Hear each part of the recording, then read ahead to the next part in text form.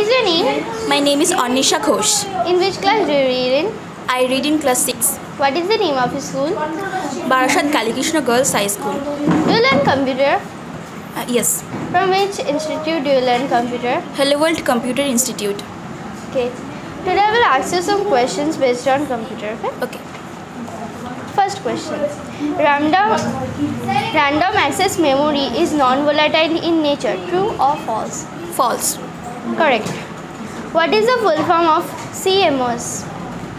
Um, complementary metal oxide semiconductor. Very good. Second generation of computer consists of which of the following? Transistor. Very good. MPG is an file extension of which type of files? Video. Excellent. What is the full form of SMPS? Um, switch mode power supply. Excellent. Which component of computer is also considered as it heart? Microprocessor. Excellent. What is used to make computer chips? Silicon. Very good. Where BIOS is stored? Uh, flash memory chip. Excellent. What is the full form of EXIF?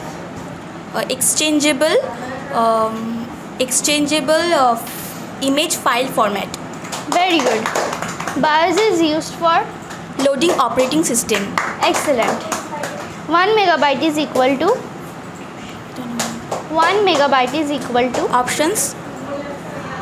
Option A 1024 bytes, option B 1024 kilobytes, option C 1024 gigabits, option D 1024 bits. Option C.